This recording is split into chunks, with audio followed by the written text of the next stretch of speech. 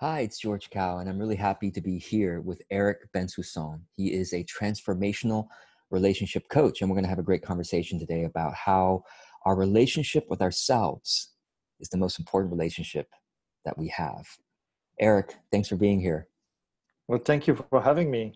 It's yeah, always thanks. nice to chat with you. Yeah, I'm looking forward to this. So, let me first uh, share your bio with the audience, and then we'll get into this conversation about transformational uh, relationships. Okay, so Eric's passion is understanding how relationships work from a psychological, emotional, spiritual, and even scientific point of view, and then using that knowledge to help people. His own experience with relationships has blessed him with some of his life's greatest lessons and caused him to look beyond his circumstances to unravel his true personality and then choose to powerfully live the life that he wants. Eric works with individuals as well as couples as a transformational relationship coach. And the core of his work is the relationship you have with yourself sets the tone for every other relationship that you have. And I will be sure to put uh, the links to Eric's website and um, he's also active on Instagram and Facebook, and I'll put those links in the notes of the video. So be, sure to check out uh, his content. Some great stuff. So Eric, um, there's you know this is a rich conversation that we could spend hours on, but um, well, I'll just you know I'd love for you to share some tips and some wisdom uh, from your own experiences. And you've coached a lot of people over the years. Oh, and I should also mention that you are one of the members of my MasterHeart Group coaching program. So it's really great to have you as part of that. Um, so, uh, one of the topics that you like to talk about is creating awareness about our own life experiences. So, what does what does that mean? Yeah, absolutely. So here's the thing: the core of my work, as you said, is the relationship you have with yourself will set the tone with every other relationship you have. Yeah. To to summarize that is the way you feel about yourself creates your life experience. So if I think that I'm not good enough, or if I think that I'm uh, not worthy of love, this is what I'm going to attract, and this is what I'm going to create in my own experience. Because my thoughts and my behavior will match that belief. So, creating awareness is to be really honest with yourself and to be able to recognize when um, whatever you do in your life and whatever you experience in your relationship is your responsibility because most of the time what we do is we get into a relationship right? Whether it's with a, a, romantic partner or a parent or friends or a coworker right? And when something goes off or when something goes wrong we start to blame the other person. Oh but he did that he doesn't know me blah blah blah blah blah blah you know? This internal dialogue that we can have with ourselves sometimes. But the thing is, if you step back from that and say, okay, this is how I feel in this moment, and this is what my experience is, okay? Doesn't mean that's who I am, but this is just my experience. So when I have a, this conversation with my wife, for example, around the, the dishes, for example, okay? I get triggered, I get upset. So instead of blaming her, is to be aware that if in this moment I'm triggered, it's because I'm already triggered. It has nothing to do with the situation that I, that I am in or the conversation that I have with my wife. So it means that the trigger exists within myself. And it's almost like my, my, my wife, by, by saying whatever she wants to say, push a button. And I go back to my past, to an emotional wounds that I have. And, and, and in that moment, I'm reacting. So creating awareness is making the difference and being aware when I'm reacting and when I'm responding. So whenever you have a gut feeling and you want to say something when someone, when, when you're in a situation, that's reacting, okay? So when I react, creating awareness is catching yourself and saying, hey, right now I feel triggered, I feel I'm upset, or I notice that I'm getting angry right now, but this is about me. So if I take responsibility about that, I can just slow down. I can let my partner knows about that, and I can say, you know, whatever happens here, this is how I feel. And then step back and take the time that I need in order to answer, in order to respond. And most, yeah, go on. No, I was, this is great. And so, I mean, I can think about my own situations, yeah. you know, with my wife. And so when you say that the trigger already exists, you're saying that because of a past negative experience we had, it created this pattern maybe? It created this template yeah. for okay in the future if this kind of thing happens again you should react negatively. Is that something like that? Yeah absolutely. It's about patterns it's about belief but it's also about uh, wounds that we have okay? Yeah. so as we grew up whether we have the best parents or the worst parents in the world we're going to have trauma because as a kid and even as an adult we are uh, making meaning machine. Something happen and we make it mean something. That's how the brain works. It's just the way it is. So for example very quickly uh, i'm a six years old uh, boy. I come home very excited and i said to my mother hey mom there is uh, something happening at school. I really want you to come because there are other parents coming. Would you be able to come friday at 10 a.m in the morning and my mother would say hey you're that's very nice but you know i need to work and i can't do that and I can't take a day off for that. What's happening is that as, as a six years old, I'm going to make it mean something. Maybe I'm going to make it mean, oh, why other parents come and my mother doesn't come? Maybe my mother doesn't uh, care about me. Maybe my mother doesn't love me enough to show up. And from those meaning that we make as a, as a child, then we're going to make decision and then we're going to carry those decisions. So maybe I'm gonna I'm gonna withdraw some some or I'm gonna be some some other kids would be uh, resentful. But if I withdraw, for example, I will never ask again someone to do something for me, especially my parents. And then I carried that decision with me all my life. And you can see how, how irrelevant it is as you are an adult to carry those kind of decisions that you took when you were six years old based on a meaning that has nothing to do with reality. Does it make sense to you? Yeah, absolutely. This is this is hard work, right? Because it is about and but it's very well, it's about living consciously and yes. it's the, the kind of work that turns us truly helps us mature into into adults rather than like little immature kids walking around in adult bodies right yeah yeah exactly yeah. but but but here's the thing here's the the opportunity and here's the choice that we have let's say I'm in a relationship, okay, and I'm getting triggered by something. The minute I can recognize, oh, it's about me, I'm responsible for my trigger and how I feel, nobody can make me feel bad. If I feel bad, it's about me. I have an opportunity here, okay? I can recognize what's the thought behind that, what's the patterns. That did it happen before with other of my partners? Did it happen in, in other circumstances of my life? It's really about being honest with yourself and taking responsibility. And the minute you start taking responsibility, you start to transform the relationship you have with yourself. Of course, I don't say it's going to happen overnight, right? It's um, it's a, a practice that you have to to keep going, keep going, keep going. And of course, when you get triggered or when you get like uh, emotional or you want to react, it's very important to detach yourself from how you feel. Okay. So two things. How you feel is always valid. Okay. That's that's that's a statement you have to do. Then the second thing is it's not because I feel sad or I feel angry that I'm someone bad or that I'm someone that can deal with relationship.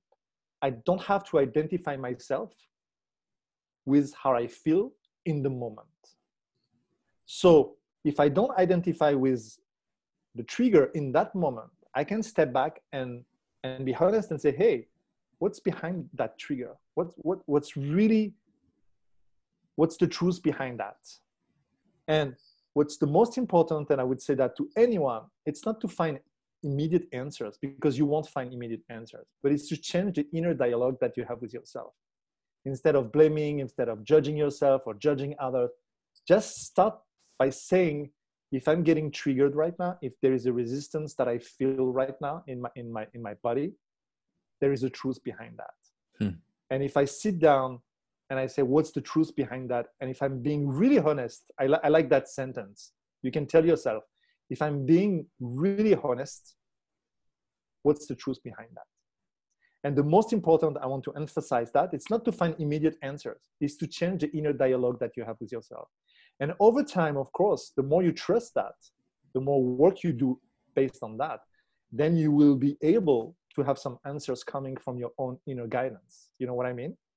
Yeah, that's great. And of course, it's helpful if if if the person can have a third party like yourself to to talk with about you know what's coming up and, and things like that. So, um, how do you know? This is this this question mm, maybe too too long to discuss right now but i'm curious how do you know if let's say your spouse is doing something that you don't think is the right thing to do whether it is a trigger or whether he or she should really change you know what i mean like is it how do i know if it's if it's if it's my own you know if i'm too clean or you know something happened to me in the past where it's like oh i don't have to be so clean or she really should clean the dishes better, you know?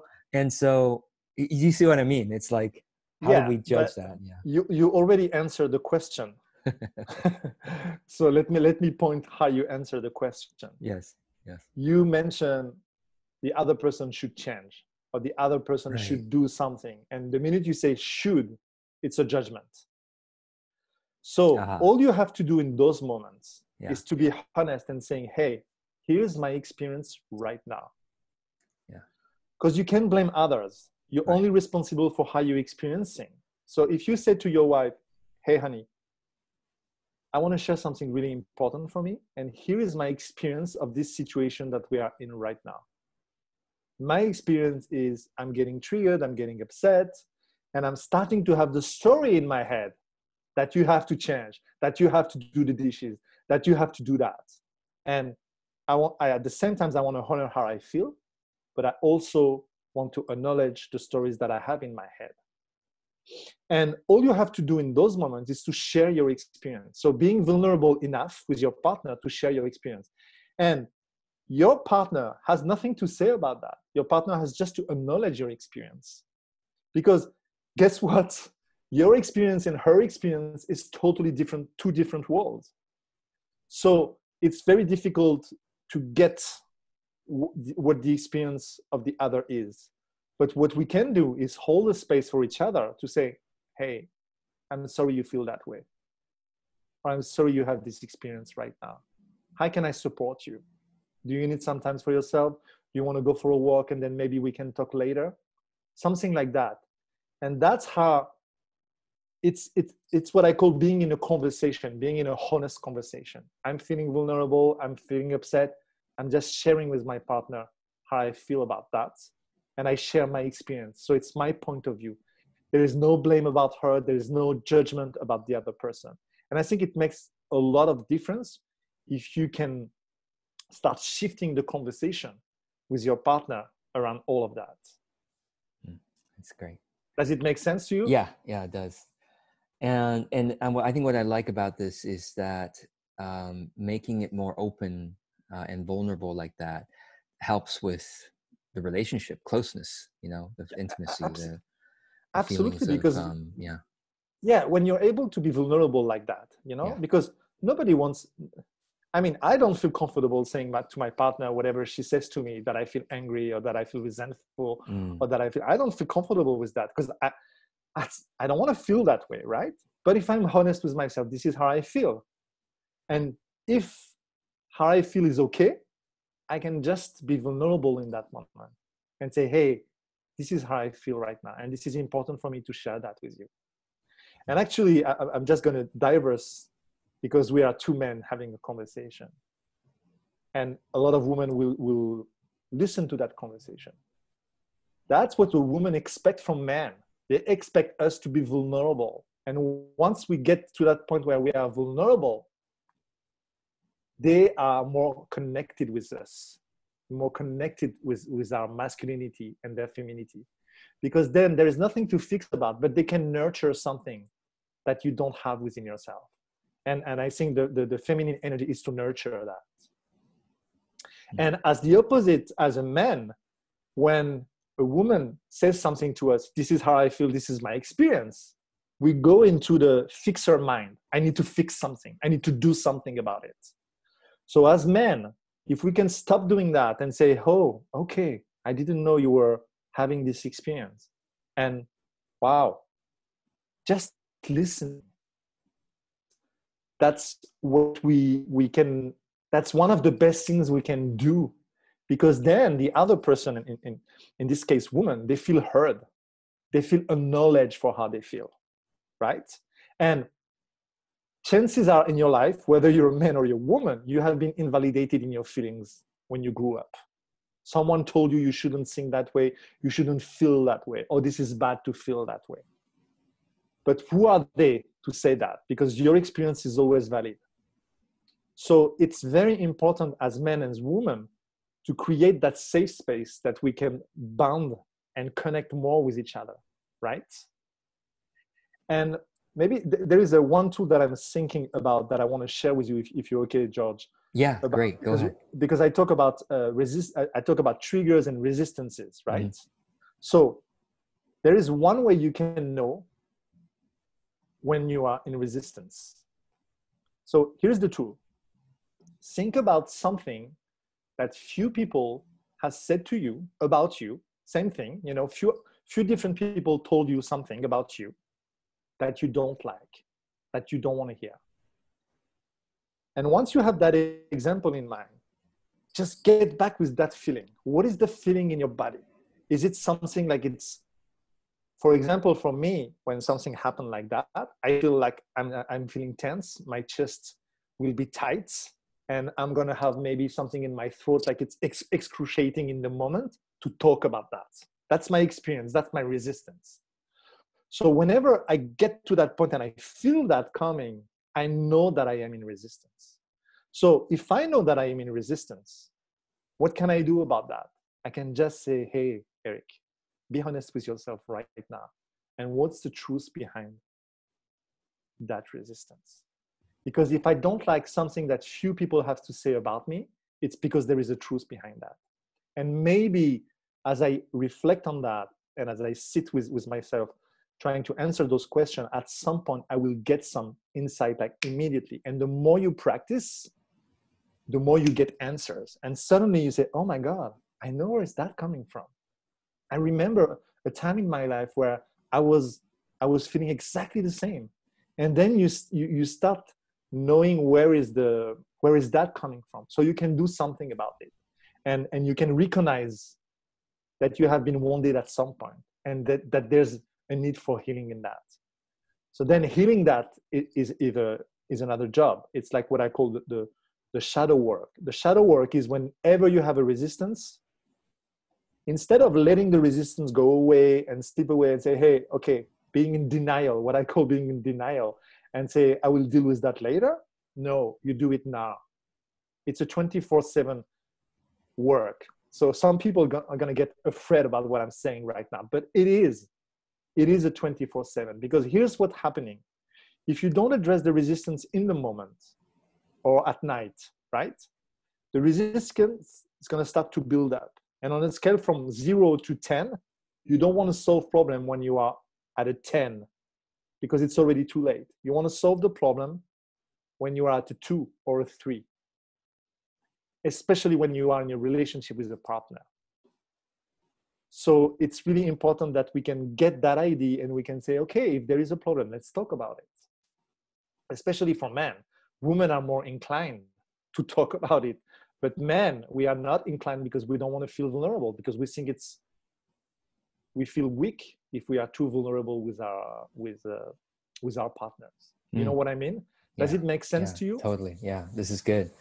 Yes, and so if somebody is you know watching this or listening to this and say well eric how do you work with clients on, on these things um, and by the way you do one-on-one work with clients and you also have upcoming you will have online workshops as well um, the way i think about it is okay if, if you're if your problem is at a you know one two three or four level maybe you could take the online workshop and maybe help yourself yeah. but if your problem is five six seven eight nine ten you need to work with eric you know personally but but can you give an example of of what it's like to work with you Yeah, absolutely. The thing is, here's one of the things that I do, and one, one of my skill is to hold space for people. Okay, because as I said before, chances that you have been invalidated, whether it's your partner, whether it's someone in your life, and you don't feel heard, you don't feel acknowledged for how you feel, and you get to a point where you feel, where you feel, well, what's wrong with me?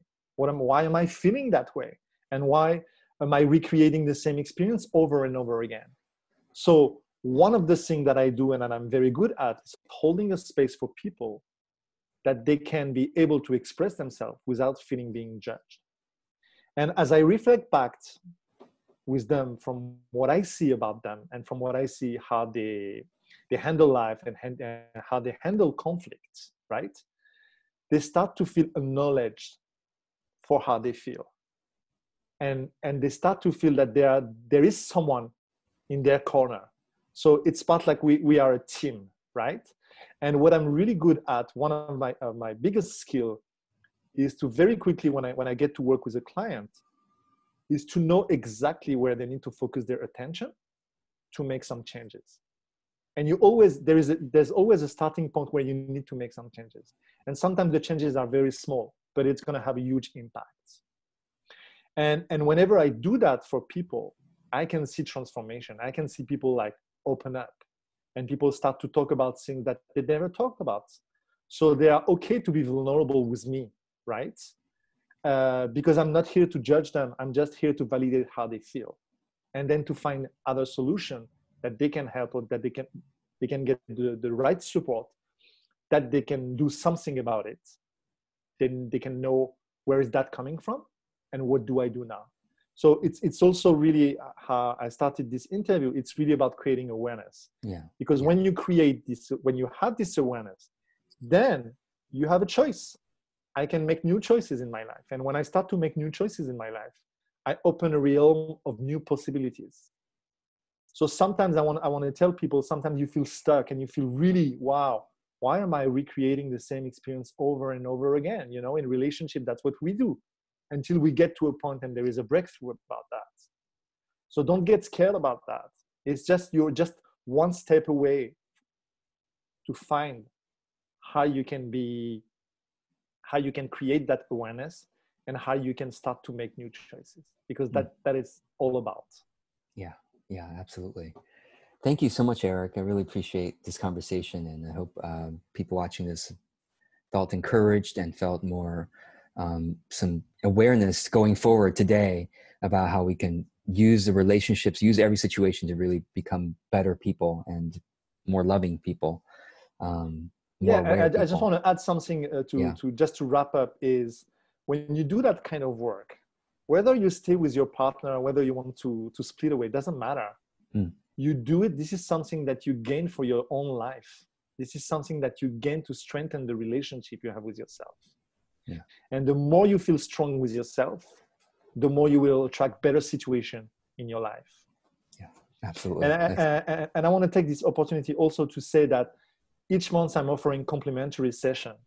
So if you feel stuck in any kind of relationship right now whether it's partner or at work or something mm-hmm. just reach out to me. There's no obligation. But in one hour i can change your perspective and i can show you how to make new choices and create the awareness that you need and that's what i love to do is being of service awesome awesome the website your website is ericbensoussan.com so that's E R uh, E R I C Eric Bensoussan is B E N S O U S S A N dot com. You're also on Facebook and Instagram, and the um, the uh, the username there is Healing Relationships Now, all one word. Healing Relationships Now. You can find Eric on Instagram and Facebook. So Eric, thank you so much. I'll put the links in the notes so people can just click on it. And uh, thanks for the work that you do. Thank you very much, George. Thank you. Thanks.